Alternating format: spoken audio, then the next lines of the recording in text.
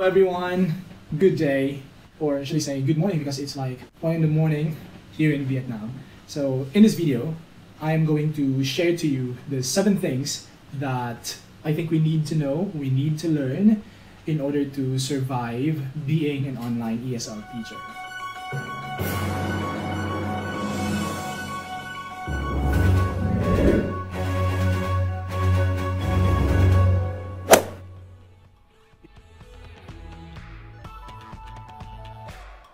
English as a second language. So ESL was only a concept before that I've been learning as a theory in college, but now I'm doing it. So I think you know the concept that I've learned before is really helping me right now.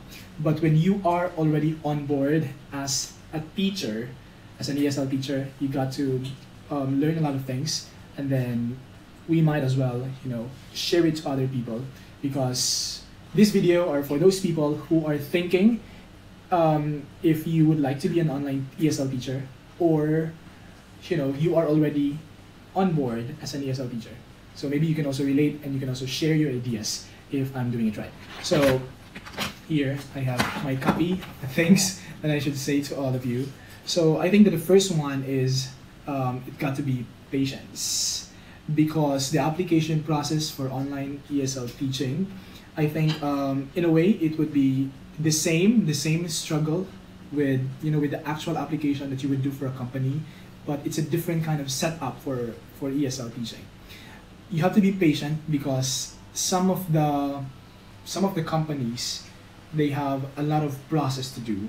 Like in this company that I'm working on it took me 20 days and in the other company it took me around you know one week after I was able to do all the things that they would like me to do so there are a lot of processes. You have to submit documents, you have to, to make a text intro, you have to introduce yourself in a video, you have to submit certificates and all that. So I really think that number one, patience is really important if you would like to become an online ESL teacher.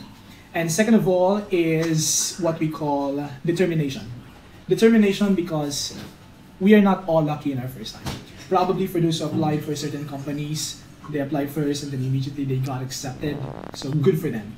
But for other people who wasn't able to submit probably their documents on time or they weren't really good in their first try, so they failed. And that was also my experience with Palfish because the first time I applied, I wasn't able to, you know, submit the document and to do my demo on time. So I failed in my first application automatically because na late nga. So determination, everyone, because um, we need to be determined. You know. Okay. Third of all is we need to be strategic. Why is that? Because um, there are a lot of fishes in the sea.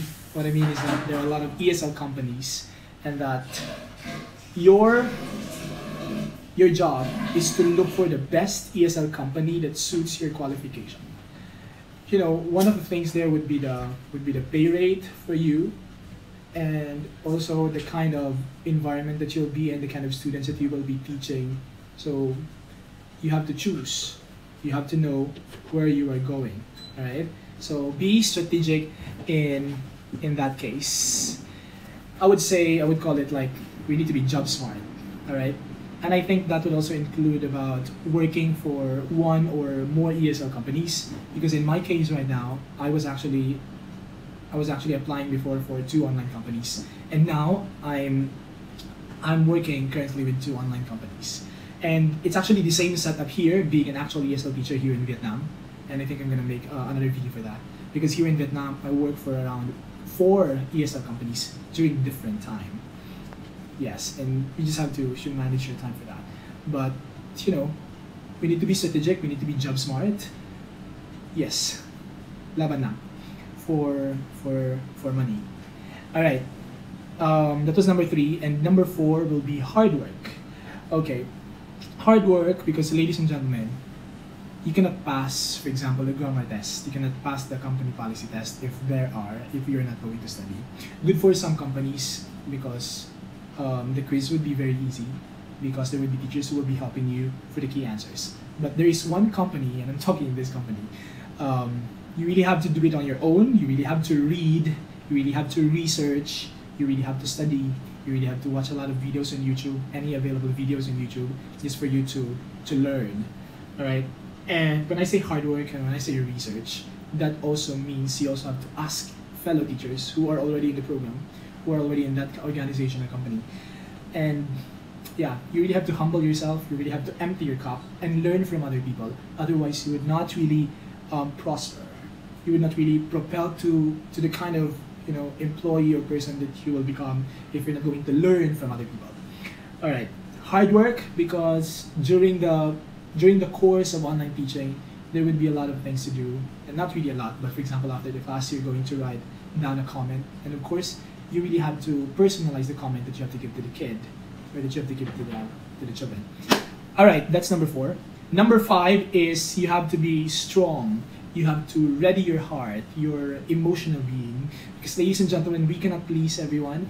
You know, there are some students who might not like you firsthand, so probably they may act like you know they don't like you during the class or they may they might you know spike you after the class by giving their rating to you so you really have to ready your heart or for example you already got their bookings and then they already booked for your classes and then all of a sudden after the first class um, they they canceled all those classes because I have experienced that. You just have to be strong, you know, emotionally because it's only one student. Maybe they, they don't like you, but there's still a lot of students who might like you, so don't lose hope. Right? That's number five. And number six, I think this is you know one of the most important things that you should be uh, at the beginning of the application or during the process of being an online ESL teacher, and that is self-denial.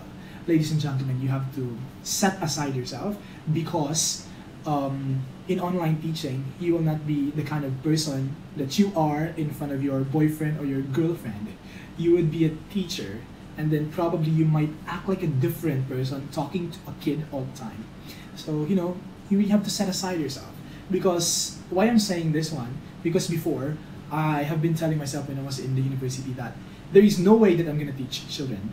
But right now i am. You know don't close your doors with these kinds of opportunities because you know during this coronavirus pandemic it's only this kind of job that we are earning money. So set aside yourself. Humble yourself, everyone. That's number six. And lastly, oh, this is already the last one. Lastly, is balance your time. Do not overwork. Time management, ladies and gentlemen. This is really one thing that you need to you need to bear in your mind. You can work in different companies, but manage your time. Managing your time means managing time for yourself, because no matter how hard how hard we work for these companies, they can easily replace you if you're sick or you know you might die because it's true okay? Um, you really have to you really have to save something for yourself. You really have to take care of yourself. Do not overwork. I have experienced it here in vietnam. I've been working for many companies and i did not have time for myself. I work all morning all afternoon all day including the evening.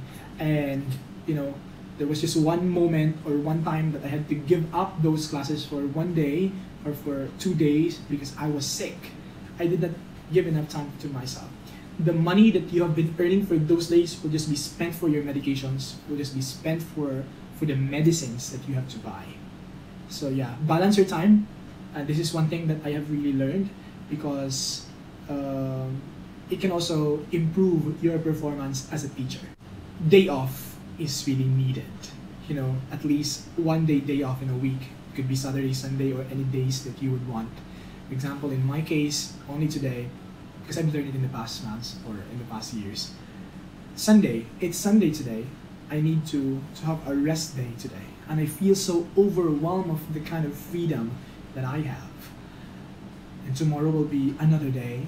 And so, not tomorrow, later. Today is another day. And I have I have the drive to teach once again for another week. So once again, do not forget to have a day off. And actually, this is 7 plus 1. Another thing that I have also learned and that you should also do is, ladies and gentlemen, creativity. Look at what I'm doing at the back. You know, if you're gonna look at my face, do I look like someone who knows how to, you know, put design something like that? It's not very good, but I'm very proud of myself that it's what we call creativity. Like using using the, the available things that you have here And good thing I have a printer that I could, you know, print some materials for for my class. All right. So that's it, ladies and gentlemen. I'm just gonna share to you how how I also, you know, it's actually the same. I work now for two companies, and then the same kind of design. I just changed the, the logo at the back. So let me show you. It's Novakid for now. And when I teach for another ESL company, I just have to put Palfish.